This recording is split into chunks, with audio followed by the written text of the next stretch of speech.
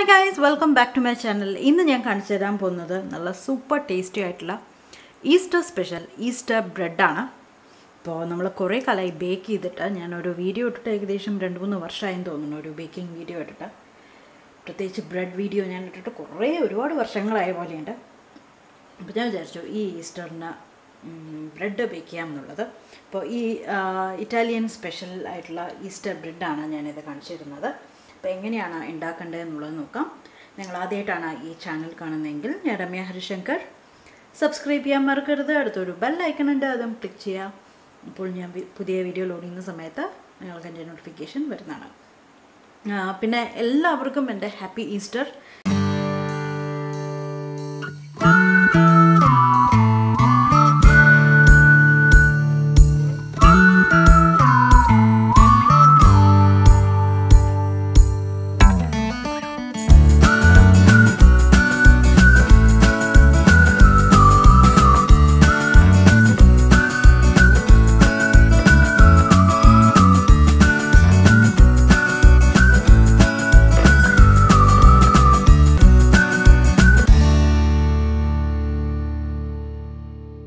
അപ്പോൾ നമുക്ക് നമ്മുടെ ഈസ്റ്റർ ബ്രെഡ് ഉണ്ടാക്കാൻ തുടങ്ങാം. അപ്പോൾ ആദ്യം തന്നെ ഈസ്റ്റ് നമുക്ക് പൊങ്ങാൻ വെക്കണം. അപ്പോൾ അതിന് വേണ്ടിയിട്ട് ഞാനൊരു ബൗൾ ഏകദേശം എന്താ പറയുക ഒരു കാൽ കപ്പ് വെള്ളം ചെറിയ വാം വാട്ടറാണ് അതായത് നമ്മൾ വിരലിട്ട് നോക്കുന്ന സമയത്ത് ഇളം ചൂട് വേണം. അപ്പോൾ ഇതിലേക്ക് ഞാൻ ആദ്യം പഞ്ചസാര ഇട്ട് കൊടുക്കുകയാണ്. അപ്പോൾ പഞ്ചസാര നമുക്ക് ഇതിലേക്ക് ഒരു ടീസ്പൂൺ ഇട്ട് കൊടുക്കാം. ഒന്ന് മിക്സ് ചെയ്യാണ്. ഞാൻ ഒന്ന് ക്ലോസപ്പിൽ ഇട്ട് തരാം കേട്ടോ അപ്പോൾ ഇനി ഇതിലേക്ക് ഞാൻ ഈസ്റ്റ് ഇട്ട് കൊടുക്കുകയാണ്. ഈസ്റ്റ് ഞാനിവിടെ എടുത്തിരിക്കുന്നത് ഏകദേശം ഒരു ഒന്നേ കാൽ ടീസ്പൂണാണ് ഇൻസ്റ്റന്റ് ഈസ്റ്റാണോ നിങ്ങൾ യൂസ് ചെയ്യുന്നതെങ്കിൽ നമ്മൾ ഡയറക്റ്റ് ആയിട്ട് മാവ് കുഴക്കുന്ന സമയത്ത് തന്നെ ആഡ് ചെയ്ത് കൊടുക്കാം. ഇങ്ങനത്തെ പരിപാടിയൊന്നുമില്ല. സോ ഈസ്റ്റ് ഞാൻ നന്നായിട്ട് സ്പ്രെഡ് ചെയ്തിട്ട് ഇട്ട് കൊടുക്കുകയാണ്. ഇനി മിക്സ് ചെയ്യേണ്ട ആവശ്യമൊന്നുമില്ല. അതങ്ങനെ നമുക്ക് മാറ്റി വയ്ക്കാം മാവ് ഇത് നന്നായിട്ട് ബബിൾ ചെയ്തിട്ട് വരട്ടെ. ആ സമയം കൊണ്ട് നമുക്ക് വരച്ച് വേറെ കുറച്ച് പരിപാടികളുണ്ട്. അതെന്തൊക്കെയാണെന്ന് വെച്ചാൽ ഞാനിവിടെ ഏകദേശം ഒരു കാൽ കപ്പ് പാൽ എടുത്തിട്ടുണ്ട്. അതേമാതിരി കാൽ കപ്പ് വെണ്ണ. അത് ഇതിലേക്ക് ഇട്ട് കൊടുക്കുകയാണ്. ഇങ്ങനെ തട്ടിയിട്ട് വീഴാത്തതുകൊണ്ട് നമുക്ക് സ്പൂൺ കൊണ്ട് വീഴാം പിന്നെ ഞാൻ ഇത് അടുപ്പിൽ വെച്ചിട്ട് ഒന്ന് അലിയിച്ചെടുക്കട്ടെ. അതിനുശേഷം ഞാൻ കാണിച്ചു ഓക്കെ ഓക്കെ ഇപ്പോൾ എന്തായെന്ന് വെച്ചാൽ ഇതാ പാലും വെണ്ണയും നന്നായിട്ട് അലിഞ്ഞ് വന്നിട്ടുണ്ട്. ഇത്രയേ ഉള്ളൂ. നമുക്ക് ഇനി ഇതം മാറ്റി വെക്കാം. അടുത്ത പരിപാടിയിലോട്ട് പോവാം. ഞാനിവിടെ മുട്ട രണ്ട് മുട്ടയാണ് എടുത്തിരിക്കുന്നത്. അതൊന്ന് നമുക്ക് ബീറ്റ് ചെയ്യാം. ഇനി ഞാൻ വേറൊരു കാര്യം പറയാം. ഉണ്ടാക്കാൻ തുടങ്ങുന്നതിന് മുന്നേ ആയിട്ട് നമ്മൾ ഇന്ന് ഞാൻ ചെയ്യാൻ പോകുന്നത് നിങ്ങൾക്ക് രണ്ട് വഴിയിൽ ചെയ്യാം. ഒന്നല്ലെങ്കിൽ സ്റ്റാൻഡ് മിക്സർ ഉണ്ടെങ്കിൽ സ്റ്റാൻഡ് മിക്സറിൽ ചെയ്യാം. ഹാൻഡ് ബീറ്റർ ഉണ്ടെങ്കിൽ അതിൽ തന്നെ ഡോ ഹുക്ക് ഉണ്ട്. അത് വെച്ചിട്ട് നിങ്ങൾക്ക് മാവ് കുഴയ്ക്കാം. ഇല്ലെങ്കിൽ ഞാൻ ഇപ്പോൾ ഇല്ലെങ്കിൽ നമുക്ക് കൈകൊണ്ട് നന്നായിട്ട് കുഴച്ചെടുക്കാം. ഞാൻ ഇതിനു മുമ്പ് എല്ലാ പ്രാവശ്യവും ഞാൻ കൈകൊണ്ടാണ് എപ്പോഴും കുഴച്ചെടുക്കുന്നത്. ഇന്ന് ഞാൻ അത്രയും കുറച്ച് അത്രയും മെനക്കെടാൻ വയ്യാത്തതുകൊണ്ട് ഞാൻ എന്റെ ഫുഡ് പ്രൊസസ്സറുണ്ട് അപ്പോൾ അതിൽ നമുക്ക് ഡോ ഹുക്ക് ഉണ്ട്. ഡോ ഹുക്കിൽ നമ്മൾ ചപ്പാത്തി കുഴിക്കുന്ന ഒരു ബ്ലേഡ് ഉണ്ട് അപ്പോൾ അതിലാണ് ഞാനിപ്പോൾ എല്ലാം ഇട്ടിട്ട് ബ്ലെൻഡ് ചെയ്തെടുക്കാൻ പോകുന്നത്. അപ്പോൾ നിങ്ങളുടെ കയ്യിൽ ഇതില്ലെങ്കിലും വിഷമിക്കേണ്ട ആവശ്യമില്ല. ജസ്റ്റ് കൈ കൊണ്ട് നന്നായിട്ടൊന്ന് കുഴച്ച് എടുത്താൽ മതി. ഇനി ഇതിലേക്ക് ഞാൻ എന്താ വാനില എസൻസ് ഒഴിച്ചു കൊടുക്കുകയാണ് വാനില എസൻസ് ഞാനിവിടെ എടുത്തിരിക്കുന്നത് ഏകദേശം ഒരു ഒരു അര ടീസ്പൂണാണ് കേട്ടോ. അപ്പോൾ ഞാൻ ഫുഡ് പ്രൊസസ്സർ എടുത്തിട്ടുണ്ട്. ഇതിലേക്ക് ഇതാ മുട്ടയും വാനില എസൻസും ഒഴിക്കുകയാണ്. പഞ്ചസാര. പഞ്ചസാര ഞാൻ ഇവിടെ എടുത്തിരിക്കുന്നത് വൺ തേർഡ് കപ്പാണ് കേട്ടോ ഇതിന്റെ അളവുകളൊക്കെ ഞാൻ ഇടയിൽ ഇടയിൽ വീഡിയോന്റെ ഇടയിൽ ഇട്ടേക്കാം കേട്ടോ ഓക്കെ പിന്നെ നമ്മൾ എടുത്തു വെച്ച പാലും വെണ്ണയും ചൂടാക്കി വെച്ചത് ഒഴിക്കുകയാണ്. പിന്നെ നമുക്ക് വേണ്ടത് ഒരു അര ടേബിൾ സ്പൂൺ ഓറഞ്ചിന്റെ തൊലിയാണ്. നല്ല ഫ്ലേവർ തരും. ഇത് വളരെ വളരെ ഇമ്പോർട്ടന്റ് ആണ്. ഞാനൊരു അര ടേബിൾ സ്പൂൺ ഗ്രേറ്റ് ചെയ്തിട്ട് എടുത്താണ്. പദം ഇതിലേക്ക് ആഡ് ചെയ്യാണ്. ഇത് ഒഴിവാക്കരുത്. അപ്പോൾ തൽക്കാലം ഇത്രയും സാധനങ്ങൾ ഇട്ടിട്ട് നമുക്ക് നന്നായിട്ട് ഇതൊന്ന് അടിച്ചെടുക്കാം. അപ്പോൾ മുട്ടയൊക്കെ നന്നായിട്ടൊന്ന് മിക്സ് ആയിട്ട് വരും. ഇപ്പോൾ കണ്ടോ? എന്തായെന്ന് വെച്ചാൽ ജസ്റ്റ് ഒന്ന് മിക്സ് ചെയ്ത് എടുത്തിട്ടുണ്ട് എല്ലാം കൂടെ. ഇനി നമുക്ക് നമ്മുടെ ഈസ്റ്റ് എന്തായി എന്നുള്ളത് നോക്കാം. നിങ്ങൾ കാണുന്നുണ്ടോ? നമ്മുടെ ഈസ്റ്റ് നന്നായിട്ട് പൊങ്ങിയിട്ടുണ്ട്. ഞാൻ കാണിച്ചു തരാം. വെച്ചിട്ട്. നോക്കൂ നന്നായിട്ട് പൊങ്ങി വന്നിട്ടുണ്ട്. ഇത് ഈ മിക്സ്ചർ നമ്മൾ ഇതിലേക്ക് അങ്ങനെ ഒഴിക്കുകയാണ്?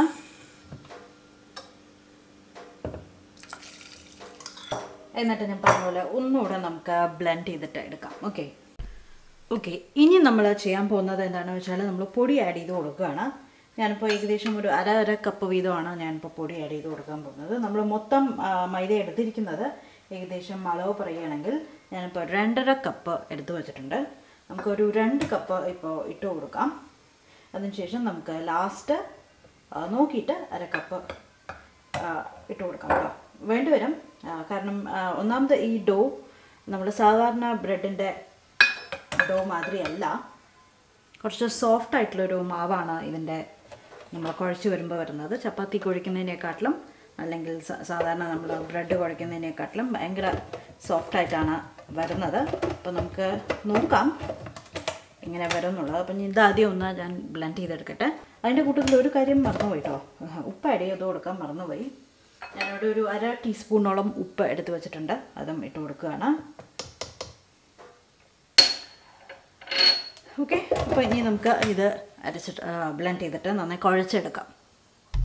ഇപ്പം ഞാൻ ഒരു കപ്പ് അതായത് നമ്മളിപ്പോൾ രണ്ട് കപ്പ് ഇട്ടിട്ട് ഒന്ന് അരച്ചെടുത്തിട്ടുണ്ട്. ഇപ്പം മാവ് തൊട്ട് നോക്കിക്കഴിഞ്ഞാൽ സോഫ്റ്റാണ് പക്ഷേ ഇതാ മെല്ലെ മാവായിട്ട് വരുന്നുണ്ട്. കണ്ടോ? വിട്ട് വിട്ട് വരുന്നുണ്ട്. പക്ഷേ നമുക്ക് ഇത് പോരാ. കുറച്ചുകൂടെ മാവ് ആഡ് ചെയ്ത് കൊടുക്കാനുണ്ട്. അതിനുശേഷം നമുക്ക് കൈ കൊണ്ടൊന്ന് കുഴച്ചെടുക്കാം. ഓക്കെ അപ്പം ഞാൻ ഇനിയുള്ള ഒരു അരക്കപ്പ് ഇട്ട് കൊടുക്കുകയാണ്. ഒരു മിനിറ്റോളം ഞാൻ നന്നായിട്ട് ഇത് കുഴച്ചെടുക്കാൻ പോവാണ്.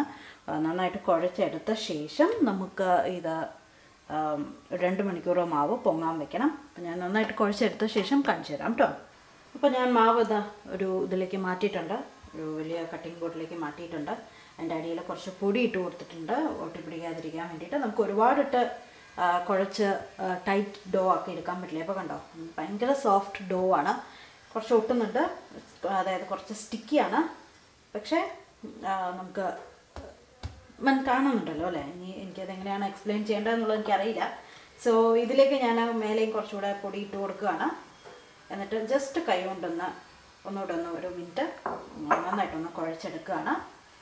കൈയിന്റെ ഒരു ഒരു ഗ്ലൂട്ടൻ റിലീസ് ആവാൻ വേണ്ടിയിട്ട്. ഓക്കെ. ഇപ്പോൾ ഒരുപാട് ഇപ്പോൾ ഒരുപാട് പൊടി ഇടരുത് കേട്ടോ. ഇനി ഞാൻ ജസ്റ്റ് ഒന്ന് ഒരു ടീസ്പൂൺ ഇങ്ങനെ മേലെയും താഴെയായിട്ട് ഇട്ട് കൊടുത്തിട്ടുണ്ടാവുള്ളൂ. അപ്പോൾ ഞാൻ എന്താ മാവ് നന്നായിട്ട് കുഴച്ച് വെച്ചിട്ടുണ്ട്. കണ്ടോ? നന്നായിട്ട് കുഴച്ച് വെച്ചിട്ടുണ്ട്. നല്ല സോഫ്റ്റ് ആയിട്ടുള്ള മാവാണ്. ഞാൻ ഈ ഒരു പാത്രത്തിൽ നമ്മൾ പൊടിയെടുത്ത പാത്രം തന്നെയാണ്. ഇതിലേക്ക് കുറച്ച് എണ്ണ ഒഴിച്ചു കൊടുത്തിട്ടുണ്ട്. ഇതിലേക്ക് ഞാൻ നമ്മുടെ മാവ് ഇട്ട് കൊടുക്കുകയാണ്. മേലെ ഡ്രൈ ആവാതിരിക്കാൻ വേണ്ടിയിട്ട് കുറച്ചുകൂടെ എണ്ണ ഒഴിച്ചിട്ട് അടച്ച് വയ്ക്കാം.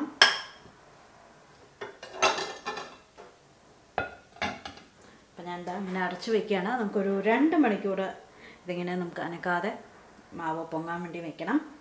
അതിന് ശേഷം നമുക്ക് അടുത്ത സ്റ്റെപ്പ് എന്താണെന്നുള്ളത് ഞാൻ പറയാം. അപ്പോൾ ഞാൻ വെച്ചിട്ട് മാവ് പൊങ്ങാൻ വെച്ചിട്ട് ഏകദേശം രണ്ട് മണിക്കൂറായി. നിങ്ങൾക്ക് കാണുമ്പോൾ തന്നെ മനസ്സിലായല്ലോ. മാവ് പൊങ്ങിയിട്ടുണ്ട്. പാത്രം ദേ മേലേക്ക് നിൽക്കുകയാണ്. നമുക്ക് എടുക്കാം. കുറച്ചുകൂടെ ഇവിടെ പൊടി ഇട്ട് കൊടുക്കാം.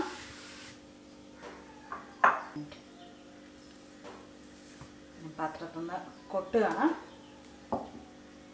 ഇതിലേക്ക്. ആൻഡ് നമുക്ക് മേലെയും കുറച്ച് പൊടി കയ്യിലോട്ടാതിരിക്കാൻ വേണ്ടിയിട്ട് എന്നിട്ടൊന്ന്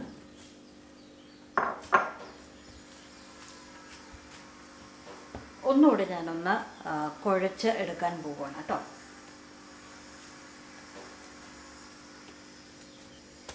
ഇനി ഞാൻ ഇതിനെ ഈ മാവിനെ രണ്ടാക്കിയിട്ട് കട്ട് ചെയ്യാൻ പോവുകയാണ്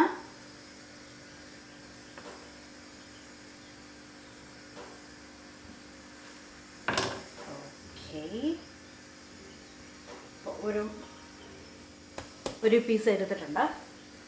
എന്നിട്ട് ഞാൻ നീളത്തിൽ നമുക്ക് നമ്മുടെ നമ്മൾ ചപ്പാത്തിയൊക്കെ പരത്തുന്ന പല കോലിലെ ആ ഒരു നീളത്തിലേക്ക് കൊണ്ടുവരാം കേട്ടോ.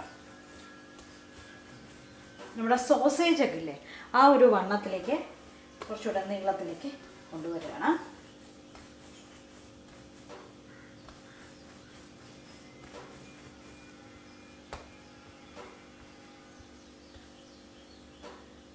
ഇപ്പം രണ്ട് ഡോവും അതേപോലെ നീളത്തിൽ ഞാൻ ആക്കുകയാണ് കേട്ടോ. ഇപ്പോൾ നമ്മൾ ഉണ്ടാക്കാൻ പോകുന്നത് ഈസ്റ്റർ ബ്രെഡാണ്. സോ ഈസ്റ്ററിന് ഏറ്റവും വളരെ വളരെ ഇമ്പോർട്ടന്റ് ആയിട്ടുള്ള ഒരു കാര്യമാണ് മുട്ട. ഈസ്റ്റർ എഗ്സ് നിങ്ങൾ കേട്ടിട്ടുണ്ടാവും. സോ ഈസ്റ്റർ എഗ്സ് ഇല്ലാതെ നമുക്ക് ഈസ്റ്റർ ബ്രെഡ് ഉണ്ടാക്കിയിട്ട് കാര്യമില്ല. അപ്പോൾ ഞാനിവിടെ ഏകദേശം മൂന്ന് മുട്ട ബോയിൽ ചെയ്ത് വെച്ചിട്ടുണ്ട്. അതായത് വേവിച്ചിട്ട് നമ്മൾ സാധാരണ മുട്ട വേവിക്കില്ലേ? അതേമാതിരി കുറച്ച് പാത്രത്തിൽ വെള്ളം ഒഴിച്ചിട്ട് നന്നായിട്ട് വേവിച്ചെടുത്തിട്ടുണ്ട്. അതിന്റെ തോട് കളഞ്ഞിട്ടില്ല.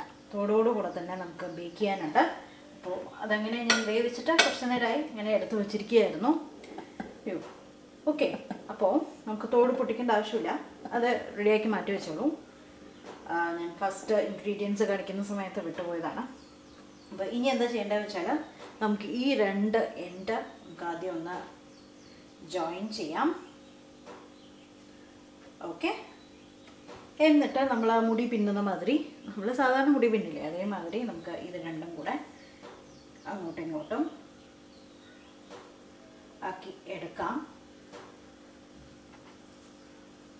അപ്പോൾ ആക്കുന്ന സമയത്ത് ഒരുപാട് ടൈറ്റായിട്ട് ചെയ്യേണ്ട ആവശ്യമില്ല. കുറച്ച് ലൂസ്ലി. എന്നിട്ട് ഞാൻ ഈ എൻഡും കൂടെ ജോയിൻ ചെയ്യുകയാണ്. എന്നിട്ട് ഞാൻ ഇവിടെ ഇതാ ബേക്കിംഗ് ട്രേ എടുത്തിട്ടുണ്ട്. അതിൽ പാഷ്മെന്റ് പേപ്പർ വെച്ചിട്ടുണ്ട്. നമ്മൾ ഉണ്ടാക്കിയ ബ്രെഡ് ഉണ്ടാക്കിയ ഉണ്ടാക്കാ ഉണ്ടാക്കിയ ബ്രെഡല്ല ഉണ്ടാക്കാൻ പോകുന്ന ബ്രെഡ് അതെ അതെ ഇങ്ങനെ. ജോയിൻ ചെയ്തു. അപ്പം ഞാനിതാ ബ്രെഡ് പാനിൽ വെച്ചിട്ടുണ്ട്. ഇനി നമുക്ക് ഓരോ മുട്ട എടുത്തിട്ട് ഇതിന്റെ ഓരോ ഗ്യാപ്പിൽ നമുക്ക് വെച്ച് കൊടുക്കാം. ഞാനിപ്പോൾ മൂന്ന് മുട്ടയെ വെച്ചിട്ടുള്ളൂ. നിങ്ങൾക്ക് വേണമെങ്കിൽ എന്താ പറയുക നാലെണ്ണം വെച്ച് കൊടുക്കാം കേട്ടോ.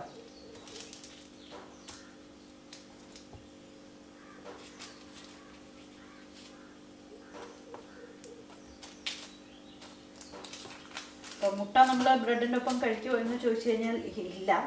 നമ്മൾ ജസ്റ്റ് ഒരു പേരിനും ഈസ്റ്റർ ആയതുകൊണ്ടും മാത്രമാണ് നമ്മൾ വയ്ക്കുന്നത് അപ്പോൾ ഇനി ഇത് നമ്മൾ മുട്ടയൊക്കെ വെച്ചിട്ടുണ്ട്. ഇനി ഇത് നമ്മൾ വീണ്ടും ഒരു ഒരു മണിക്കൂർ ഇങ്ങനെ റെസ്റ്റ് ചെയ്യാൻ വെക്കുകയാണ്. അപ്പോഴേക്കും മാവ് ഒന്നുകൂടെ ഒന്ന് പൊങ്ങി വരും. നമ്മളിപ്പോൾ കുഴച്ചതൊക്കെ. അപ്പോൾ നമ്മൾ